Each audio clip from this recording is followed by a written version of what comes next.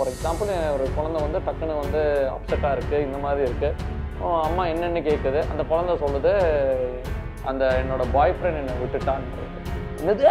பாய் ஃப்ரெண்டா ஒரு நடக்கக்கூடிய ஒரு பேட் விஷயங்களா இருந்தாலும் சரி செக்ஷுவல் ரீதியான விஷயங்களா இருந்தாலும் சரி இதை பத்தி கொஞ்சம் ஓரளவுக்காவது அம்மாக்களாவது அவங்க பொண்ணுங்க கிட்ட கொஞ்சம் பேசணும். அதே மாதிரி அப்பா வந்து பையன்கிட்டையும் இதை பத்தி கொஞ்சம் பேசி ஒரு அவேர்னஸ் கிரியேட் பண்ணணும்.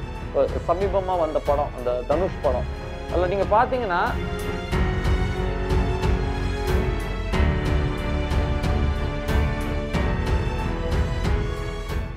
குழந்தைங்க மனநிலை பிரச்சனைகளை வந்து எப்படி பெற்றோர் ஐடென்டிஃபை பண்ணலாம்? ஃபஸ்ட்டு டிப் என்னன்னா என் குழந்தை வந்து நல்லா இருந்தான் நல்லா விளையாடிட்டு இருந்தான் நல்லா பேசிகிட்டு இருந்தான் கலகலப்பாக இருந்தான் இப்போ வந்து கொஞ்சம் மந்தமாக இருக்கான் உம்முன்னு இருக்கான் யாரோடையும் பேச விரும்ப மாட்டேங்கிறான் தனிமையே விரும்புகிறான் எப்போவுமே அவனோட உலகத்திலேயே இருக்கான். தூக்கம் சரியாக வர மாட்டேங்குது சரியாக சாப்பிட மாட்டேங்கிறாங்க.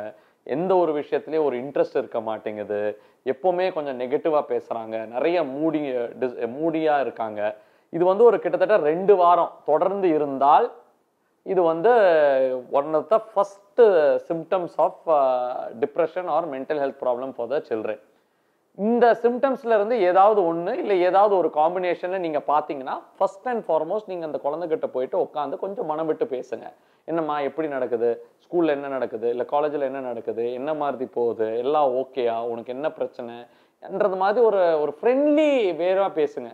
நீங்கள் ஃப்ரெண்ட்லியாக பேசும்போது அவங்களே ஓப்பன் பண்ணுவாங்க. இது வந்து நாங்கள் இங்கிலீஷில் ஒரு வார்த்தை சொல்லுவோம் ரேப்போ ரேப்போன்றதுன்றது வந்து எந்த அளவுக்கு உங்களால் அவங்களோட கம்யூனிகேட் பண்ண முடியுதுன்றது அதை வந்து நீங்கள் எஸ்டாப்ளிஷ் பண்ணிட்டீங்கன்னா அடுத்த கட்டத்தில் நீங்கள் அவங்களே வந்து ஓப்பன் பண்ணி சொல்லுவாங்க என்ன இஷ்யூன்றது இந்த இஷ்யூ என்னன்றது அவங்க சொன்னாலும் அது எவ்வளோ பெரிய சீரியஸ் இஷ்யூவாக இருந்தாலும் ஓவராக இனிஷியலாக ரியாக்ட் பண்ணிடாதீங்க. இப்போ ஃபார் எக்ஸாம்பிள் ஒரு குழந்தை வந்து டக்குன்னு வந்து அப்செட்டாக இருக்குது இந்த மாதிரி இருக்குது அம்மா என்னென்னு கேட்குது அந்த குழந்தை சொல்லுது அந்த என்னோட பாய் ஃப்ரெண்ட் என்னை விட்டுட்டான்றது.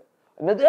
பாய் ஃப்ரெண்டா உனக்கு எப்போ பாய் ஃப்ரெண்ட் இருந்தது? நீ சொல்லவே இல்லையே. ஆ ஊ ஈ ஊன்னு நீங்கள் பண்ணீங்கன்னா அடுத்த வாட்டி சொல்லவே மாட்டாங்க. உங்ககிட்ட எந்த விஷயம் சொல்ல மாட்டாங்க. ஸோ ஃபர்ஸ்ட் அண்ட் ஃபார்மோஸ்ட் நீங்கள் ஃபஸ்ட்டு காமாக இருங்க. நீங்கள் ஃபஸ்ட்டு உங்கள் இமோஷன்ஸ் இன் செக்க வைங்க.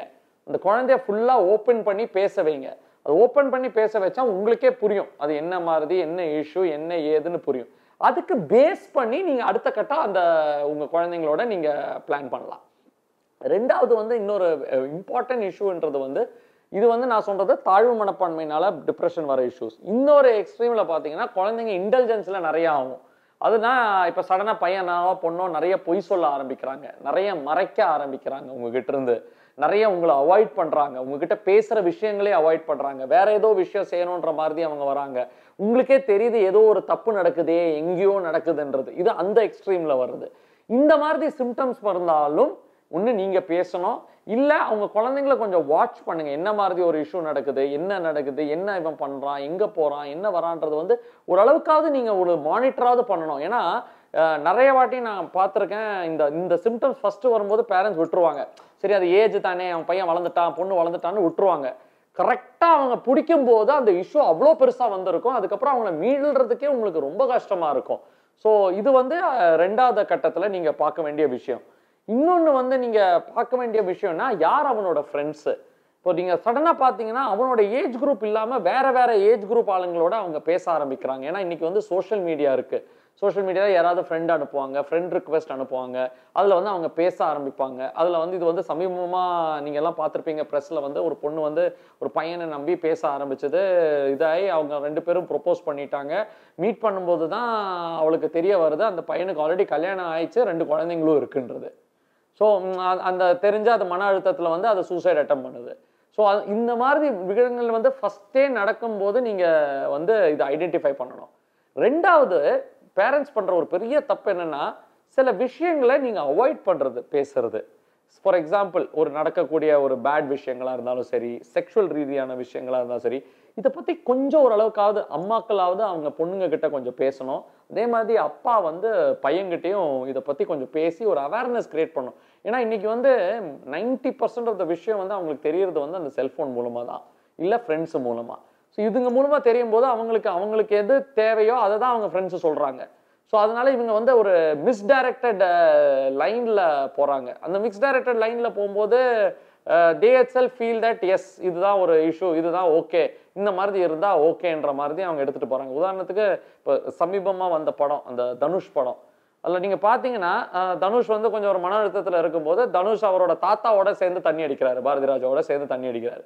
சி அது வந்து ஒரு வெரி வெரி பேட் பிரசிடென்ட் இப்போ ஒரு குழந்தை அதை பார்க்குதுன்னா அந்த படத்தில் அந்த தியேட்டரில் அதை பார்க்குதுன்னா அந்த குழந்தை என்ன நினைக்குது? ஓஹோ தாத்தாவோடையும் தண்ணி அடிக்கலாம் அப்போ ஃப்ரெண்ட்ஸோடையும் தண்ணி அடிக்கலாம் இதெல்லாமே நார்மலோ இதெல்லாம் கரெக்டோ அப்போ நம்மளும் டிப்ரெஷனாக இருந்து யாராவது ஒரு பிரச்சனை இருந்தால் இதுதான் நம்மளோட சொல்யூஷனோ ஸோ இந்த மாதிரி தான் அவங்க நிறைய பேர் இம்பிஞ்ச் ஆகிறாங்க மைண்டில் இது இம்பிஞ்ச் ஆகிறதுனால அவங்க என்ன நினைக்கிறாங்க? அடுத்த கட்டத்தில் ஒரு டிப்ரெஷன் வந்ததுன்னா இதே பண்ணிடலான்ற மாதிரி நினைக்கிறாங்க.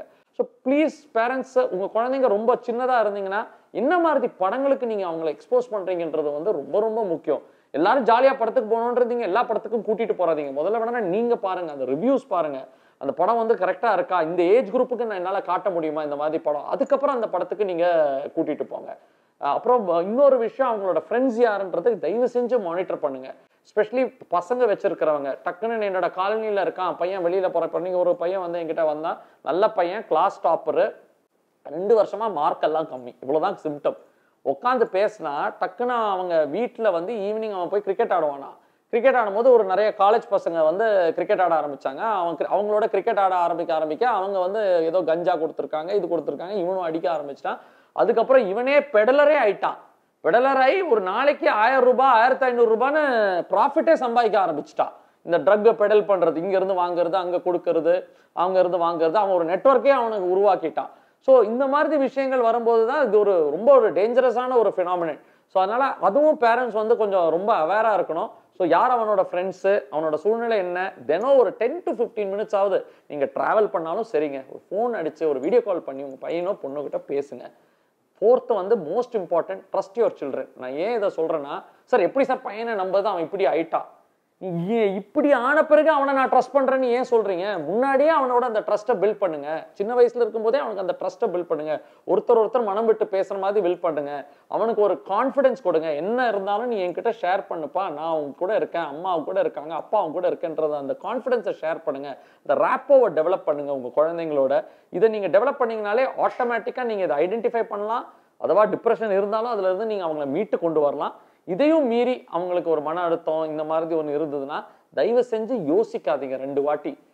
இம்மீடியட்டாக ஒரு சைக்காலஜிஸ்டோ கவுன்சிலரோ ஒரு சைக்காட்ரிஸ்ட் கிட்ட தயவு செஞ்சு கூட்டிகிட்டு போங்க. ஏன்னா எல்லாமே நம்ம நமக்கு தான் தெரியுன்றது மாதிரி இல்லை. Go to the professional and இந்த ஒரு இஷ்யூக்கு வந்து நீங்கள் ஒரு சார்ட் அவுட் பண்ணலாம்.